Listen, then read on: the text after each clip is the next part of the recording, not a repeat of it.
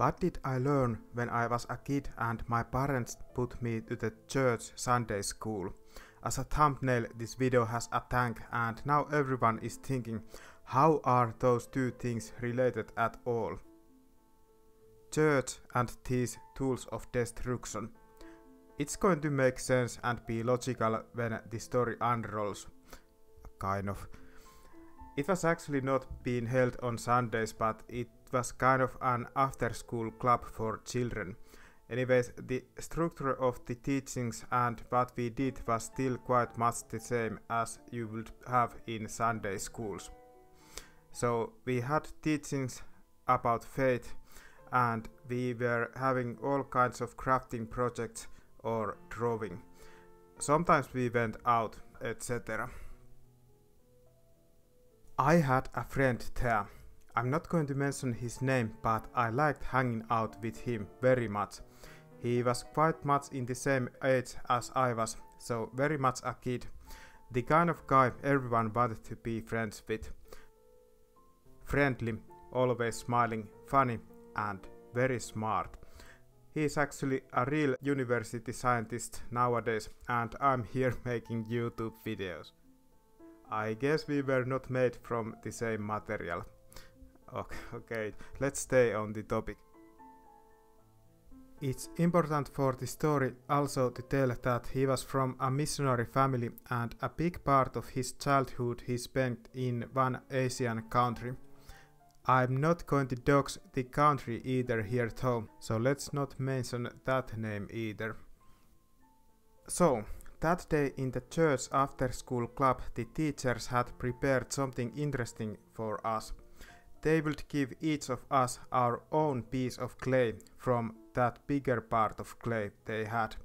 I still remember how they were cutting huge piece of clay with a knife and giving parts of it to everyone. They told us that today we would be allowed to sculpt anything we wished to from our own part. That was a really nice job for me because I really liked clay jobs. I wasn't very skilled in it but I really really liked doing clay works. Even at home I would go and find clay from some natural location such ditches and I would collect my own clay and do some of my own clay works with it. I think I was probably signing when I understood what we were allowed to do that day. So, we were rolling our clay pieces in our little hands and we were trying to figure out something worth making out of it. I cannot exactly remember what I was thinking and talking with my friend, but I think it was probably something like this. Should I make a dog? Ah, I already made a dog at home from Play-Doh and it was not that nice. What about horse then? Ah, the long legs for sure will make sure that we will fail the horse project. What about a cat then? Uh, everyone else is already doing cats and dogs and we wanted to do something nice and original with this special piece of clay. So, finally my friend told a little story for me. The country where he was with his missionary family there used to be on the street some really skilled artists who were doing clay works for tourists. He told how they would use the clay to make realistic tanks and other vehicles which then would be sold to the tourists. That sounded like a really good idea to my little kid ears, and I was thinking of the artists on the streets doing their clay works, and it really felt amazing how they could do such details and nice tanks from this material. Of course I have never seen photos of those tanks, but my friend was able to convince me that their clay models were so nice and detailed. The time was not like this time we are living now. In that time we didn't have any sort of reference photos or anything to look ideas from. Basically, we instead were working from our memories. And we were kids. The teachers would also be telling us that do not let the bubbles be inside of your models because it would make them crack in the oven. So we were extra careful with that aspect also and tried to not let any bubbles be happening inside of our models. We had wooden sticks that were supposed to be used to push holes into our models so that there would not be any bubbles or other cavities. I didn't like the idea of having random holes in my tank, but that was the thing that we had to do and I was also doing it under the tank. Even when these were tanks made with a great love, if you even can say so, I wouldn't still go saying that these were very exceptionally nice looking tanks. I cannot remember very well the tank my friend made, but I can remember my own tank. The chains were these two clay tubes and the body of the tank was that kind of a blob of clay. Over that there was another blob of clay which was supposed to be the tower of the tank. And finally, as a final decoration, we used clay to create this kind of a tube which was supposed to be the barrel of the whole model. However, the barrel was having a problem. It didn't stay in the correct position. Being made out of clay, it will start slowly bending down. After trying few times, we figured out a method that we thought was a very good and clever.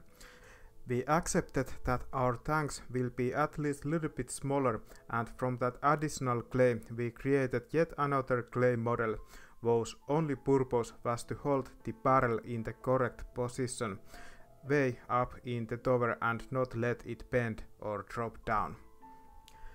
When we finally finished our tank models and everybody else also finished their models, we were asked to return the products to the teacher. And there was a nice collection of all kinds of clay models. Dogs, cats, bunnies and I bet there also was some snails. I have a photographic memory and I still can see the metallic tray with baking paper full of clay models Sadly, my memory is not that good so that I would be able to say which all types of models everyone did. Anyways, with all of those other models, there also were those two tanks with their barrels supported with the support structure we created and everything was looking good and according to the plan. The idea was that when we came back to the after school club, the clay models would be hardened in the ceramic oven and we could get them back as a finished product. So the week went and it was again a day to go back to this after school club and my friend also was there. So soon when everyone was there and sitting at the tables, the teacher went to take the models and everyone would get their model from that tray. But there was something strange with our tanks. Neither of them had their barrels connected to the towers. Instead, the barrels were on the tray next to the tanks, and the clever superstructures we made were also lying next to the tanks on their sides. Everything scattered around. It was a sad view. At this point, it would be impossible to say if those were tanks at all or something completely else. The barrels were the thing that made them to be tanks. Now, when the barrels dropped out, you could as rightfully say them to be bad models of ladybugs or Volkswagen Beetles or something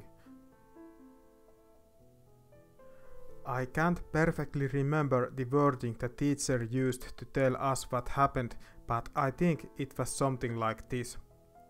Sadly, your models didn't hold up in the heat of the oven and the barrels dropped because of it. Maybe there were some bubbles. Without saying words, I took my tank ladybug model, the barrel tube and the additional superstructure which no longer felt so clever at all, and I went back to my place. I remember that I felt something was in my throat. If I would have been alone, It's possible that in fact I would have been crying. Even when I didn't say anything, I was still thinking a lot. Why didn't I do a dog? Didn't I have a good plan? I did place the barrel on the model very carefully. Also, didn't I pour the clay with butter to make sure that the surface would be smooth and all the seams be tight? Especially the barrel, because we already suspected it to be causing some problems for us. The superstructure was a good plan to prevent this from happening to our models. We also tried to take care that there were no bubbles in the models. Didn't we? I at least did. I really did my best. I covered the tank hollow from bottom to make sure that it's bubble free. What's the problem then? Why do these kind of things happen to us? Now after all of those precautions, our models that were supposed to be nice tanks suddenly became garbage.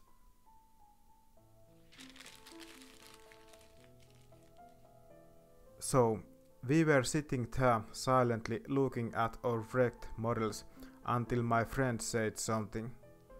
He kind of drilled his words into my mind, and now I don't even wanna forget his words anymore. His words would often come back to my mind when something negative happens to me. He said, Ei se mitään. Jeesus on paljon tärkeämpi. It's okay. Jesus is much more important. I didn't understand his words. I mean, I understood what the meaning of his words, but it kind of hurt me. We were in church school, but how is Jesus related to anything with these broken clay tank models? Now, I guess I'm a bit slow, but now as an adult I can finally say that I have understood it. Would the world somehow be better if the barrels didn't drop off? What actually was the important lesson here? Do not let any bubbles be inside of your clay models. Well, I agree that it's important to have the models be bubble free to survive the oven, but Jesus is much more important than that. There is a story in the Bible about a man named Job.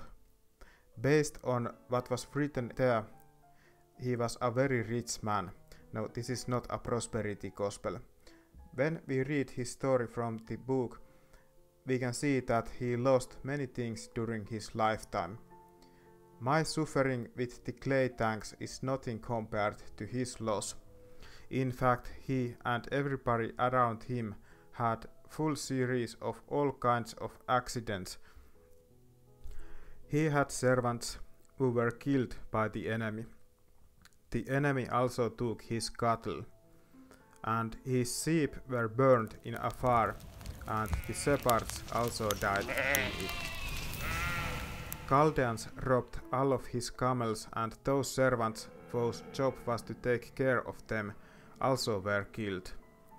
His sons and daughters were in the house of the eldest son, and the house collapsed over them, killing all of them. That's just horrible. So, what would Job say after all of these awful events around him? The Lord gave, and the Lord has taken away. May the name of the Lord be praised. And Job became very sick. His body was full of abscesses, and he took a piece from a broken clay pot, and he sat down on the pile of ash, scraping himself and his broken skin with that clay. And his wife said, Are you still maintaining your integrity?